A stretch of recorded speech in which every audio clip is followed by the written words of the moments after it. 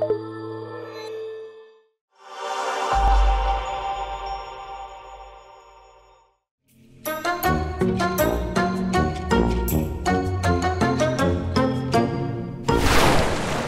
gente, bienvenidos a este segundo informe con todo lo que pasa en la edición 69 del Festival Internacional de Cine de San Sebastián, País Vasco, España. La primera película del día de hoy se llama Camila saldrá esta noche, de la directora argentina Inés Barrio Nuevo. Aquí vamos a conocer lo que pasa a una lideresa juvenil que defiende el feminismo y las causas de la diversidad sexual cuando debe cambiar de un colegio público libre a un colegio privado religioso. Mi cuerpo, mi kiosco, mi cuerpo, mi kiosco. Horizontes Latinos, donde hay una película colombiana que se llama Amparo de Simón Mesa, es muy importante para la divulgación del cine hecho en castellano y del cine hecho en Latinoamérica.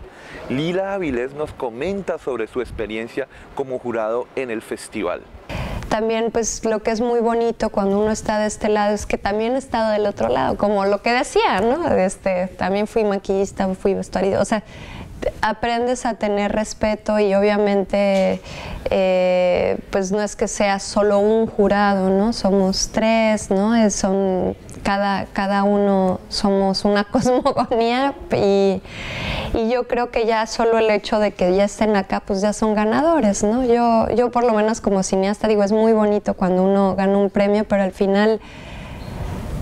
Eh, no sé, la competencia es compleja siempre, ¿no? O sea, como que al final uno pues ya, ya conoció a alguien más, o sea, el hecho de estar al festival más allá de los premios, pues ya, ya avanzaste tantito más, ¿no? Dicen que la utopía no existe, ¿no? La utopía es un letrero que hace, ¿no? Que uno avanza y el letrero se despasa, ¿no? Entonces al final es ese caminar y yo creo que eso es vital. Este, y pues obviamente como latinos yo, yo sé lo que significa cruzar el charco, ¿no?